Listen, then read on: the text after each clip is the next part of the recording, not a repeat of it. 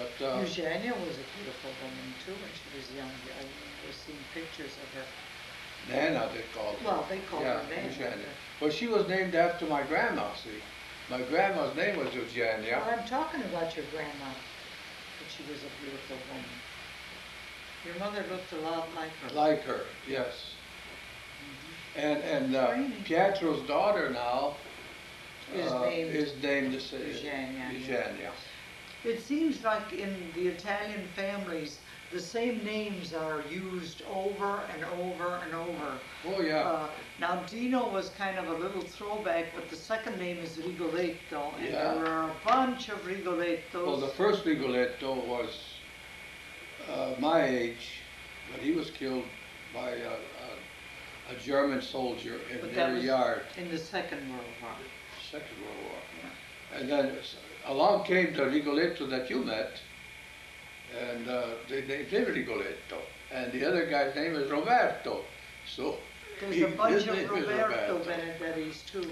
Now, the way. now, this was all though, uh, during the First World War. Yes, Were there a lot of, there must have been a lot of men from the village who were in the war, uh, oh yeah, And Gino, were- Gino and, and uh, No, that was the Second the War. Second World War. yeah. Don't What I was wondering was, I was trying to remember, were the Italians fighting on the same side as No, the the Americans? Italians were allies at that They time. were The allies, in the World First War, they World were War, allies, yeah, because I know they weren't during the Because Second World War. Mussolini didn't come into power Oh, until, in the thirties. 36, I So in the First World War, they were allies. Yeah, Sure, yeah, yeah. France and uh, Italy, The, the, it wa- England, they're all against uh, the Kaiser's. the Triple Alliance against the, the uh, Axis, uh, Mhm. the, uh, the- not the Axis, the, um, well, it was Austria, uh, Hungary, uh, Austria, Germany, and, uh, well, it was Kaiser Wilhelm, Right. whichever countries he had, Yeah. they were all, But there wasn't any conflict within the family then because your Oh, father was. no, no, uh, no, no. Yeah. no, no, no. And um, so there must have been uh, a lot of men who were gone because they were fighting. It was all the old men that So- were left. Yeah, that's right. Your grandparents. My grandfather, uh, Pucci, and Do my you grandfather remember any, Benedetti. any young men in the village at the time? No. Well, I was too small, I didn't know. Yeah. Yeah. So do you remember what uh, made uh, your mother decide to come back? Uh, was it? Well, after the war was over, Oh. 1918, Uh huh. And my father uh, came out, well, my father spent most of his time in the hospital while he was in the, in the American Army. Oh, was he wounded? He had a sciatic nerve, Oh. he couldn't walk. Oh. and his leg was like this. But uh, full pack, they were in camp in Texas, and they had to march. And there were several other of his friends from the west side in the same unit with him that practically carried him on these marches, and the captain wouldn't recognize the fact that this guy was, was sick. Finally, he couldn't walk anymore, so uh, he ended up in the hospital over there. So that was his back that, that really was Yeah, uh, that's the right. same thing that you And uh, eventually, you had. He had the spinal fusion just like I Yeah. did. Yeah. But uh, when he came out and he was, uh, he tried everything, you know. But uh, after he got, got out and he got settled, then he sent for us again. Did he come over to Italy to get you, or you? Uh, No, and by that time, he had gotten his job back again at, uh, at Tractor, at uh, McCormick Works. See, in those days, uh, if you, if you were uh, drafted and you were going into the army, your job was gone. When you came back, you, you started as a new person. Now, when you're gone, your job is still there and your service continues, but not in those days. So when we get back here in 1920, uh, we were living with uh, Faber and his family, Gagno his name was, Fabri.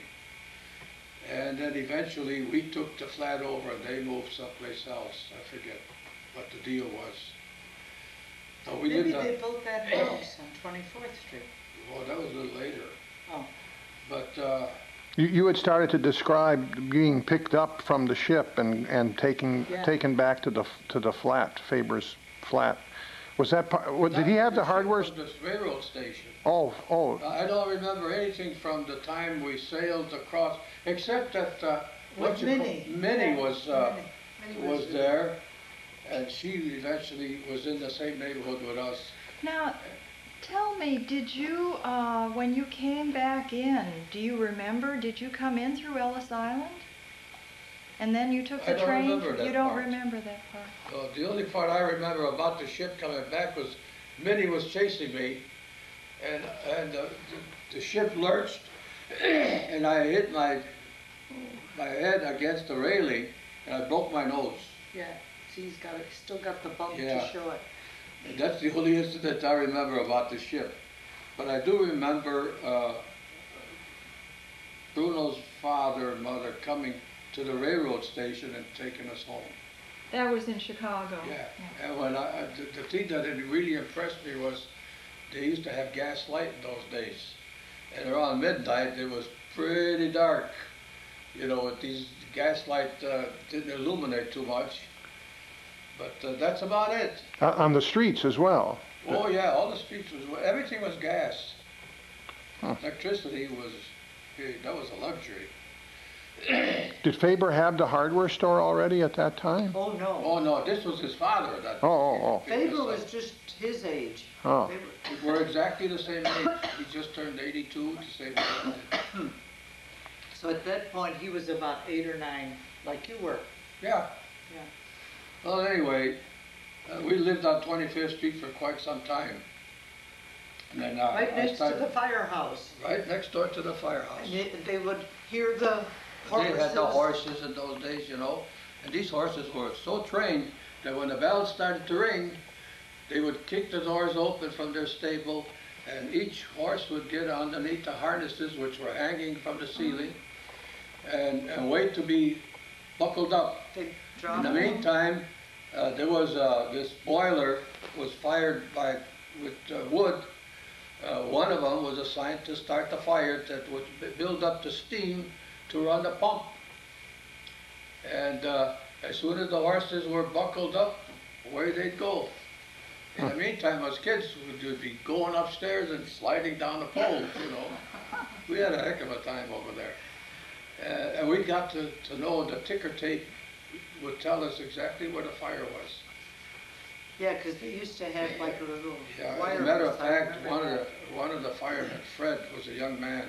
There was a big fire at the McCormick Works. And he went in there, uh, he- trying to put out the flame in one department, because they had wooden floors that were all oil soaked from the machines and everything. And uh, a beam fell down and he got killed in there. Now, when did Diana come along? Well, she came along fifteen years later. Oh, I didn't realize she was that much younger Yeah. than Yeah, you. she's She was born in Chicago. Yeah. Uh, I think we were living She was by born college. in nineteen twenty-six. We were living on Twenty-second Place across the street from our little house, right on the, on the third floor. well, but in the meantime, you had, you were, st- you had started to go to Pickard again, right? Yes. Oh, well, I started going to Pickard as soon as we got here, you know. And uh, I couldn't wear shoes because in Italy I was always barefooted. So I wore tennis shoes all the time. And in order to get me a pair of shoes, my mother used to have to take me downtown at um, Morris Chi- Rothschild. And they had a system in there where they measured your shoes, your foot, and made the shoes to fit. Hmm. Anyway, I started going to Pickard School. I couldn't speak a word of English. I was 10 years old. They put me in Nine. kindergarten. Nine. Anyway, Well, they put me in kindergarten with these little kids, Oh. four or five years old, and I was already quite grown. And, uh, you know, everybody used to make fun out of me because I couldn't, I couldn't understand what they were saying or anything. Were you, you the only one that was in that situation in Sure, that school? I was in there alone. Mm. Well, they didn't keep me in there too long. Mrs. Ryan, the principal, she yanked me out of there and she put me in first grade. In the meantime, I had to go into her office every day after three o'clock, and she would coach me.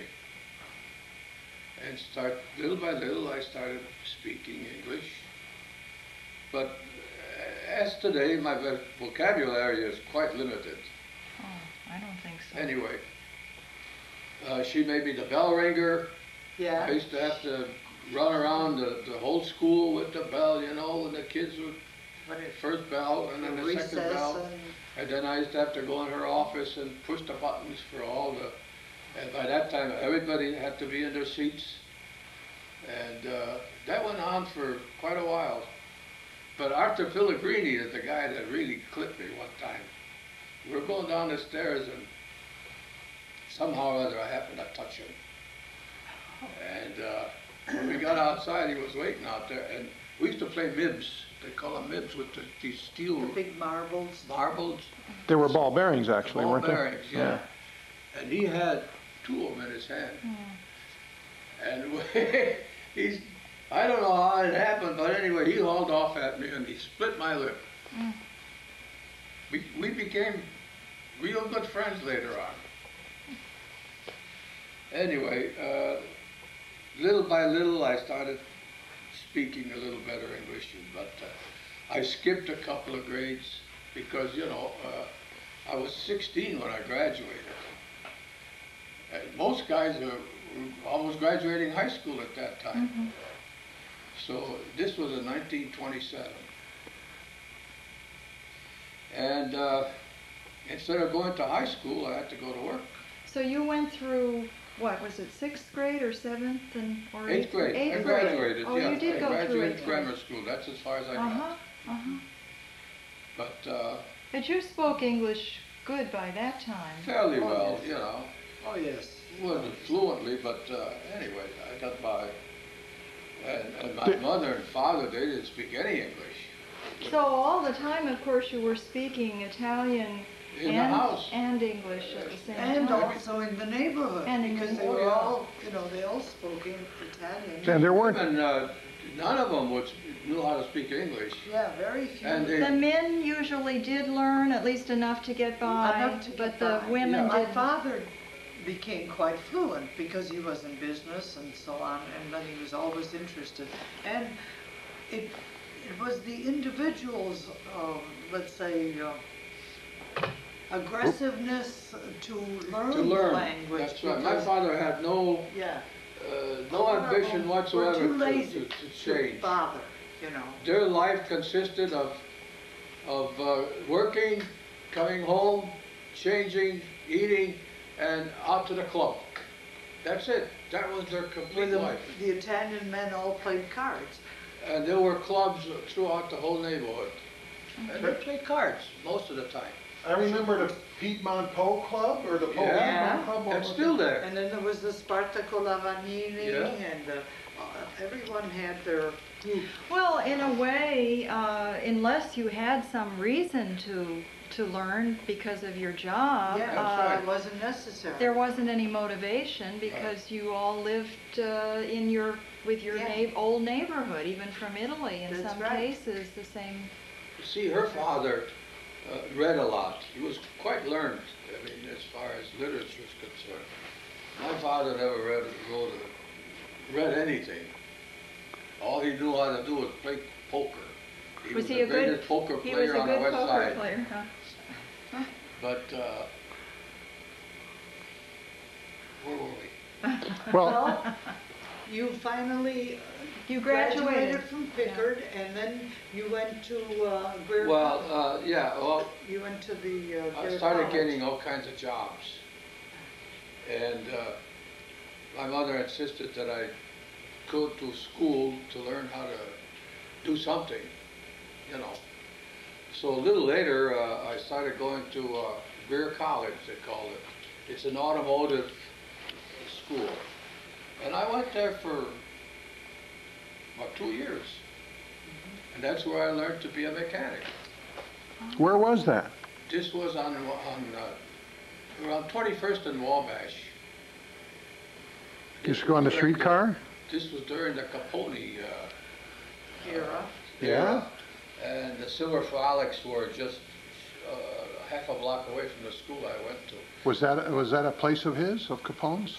Sure, the What Silver was it? Frolics. What was And that? Colosimo's, you've heard of Yeah. Restaurant? Yeah? That's, uh, that was a half a block away from the school I went to, right on Wabash. Huh. And that was his headquarters, so to speak. Oh, speak? yeah, he's, he's the one that killed Colosimo, that took over his business. Huh. But now, this is a little Yeah, tangent, but I just want to, for the record, clarify this. He was from an entirely different part of Italy than Oh, your. yeah, yeah, they he were was, I Sicily. he was a Yeah, Sicilian. that's what I thought. He Yeah. was Sicilian. Was there, was there uh, uh, mafia activity in the old neighborhood? No, because No, he was the wasn't. boss. Yeah, period. But there was the guys on the north side and the guys on the south side, and he controlled all of them. Well, we, the only, uh, let's say, uh, activity that we, uh, saw in our neighborhood was Dago Dan. They called Well, him he was Dago a Dan. union agent. But he huh? was a union agent. He was a agent. in the Teamster union Teamster agent. union. He was the Hoffa of his time, let's Huh. say. Yeah, And he met the same kind of end, Oh, yeah? yeah. I think you told me once about Dago Dan getting in a, a gunfight with somebody in Toscano's yeah, restaurant. that's right. Well, That- in- in Bella Bella Bruna's Bruna. restaurant. You That- just read that thing? That, Bella Bruna had the restaurant uh, right on 24th Place in Oakley, uh, and uh, her name, her husband's name was Paul. And Dago Dan was always after Bella Bruna, you know. and he succeeded quite often. Oh yeah. and uh, well, they were the talk of the town. Yeah, Let's face it. you know, But one day, I guess they got into an, uh, an argument or something, and uh, uh, Dago Dan says, "I'm going to walk into your place, and I'm going to kill you."